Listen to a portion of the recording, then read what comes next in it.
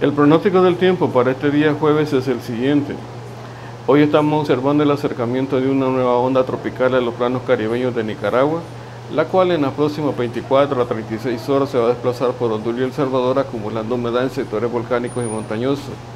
Mientras tanto, el día de hoy estamos esperando flujos zonales componente este con moderado contenido de humedad y junto con un patrón atmosférico en la atmósfera superior el cual va a estar desplazando humedad desde el Océano Pacífico, se va a acumular en sectores volcánicos y montañosos generando precipitaciones de ligeras a moderadas.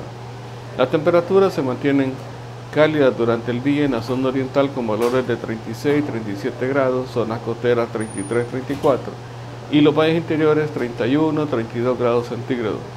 Los cielos estarán durante el día con nubosidad entre aislada dispersa, por la tarde de dispersa medio nublado y por la noche nublado. Estas son las condiciones atmosféricas para este día jueves.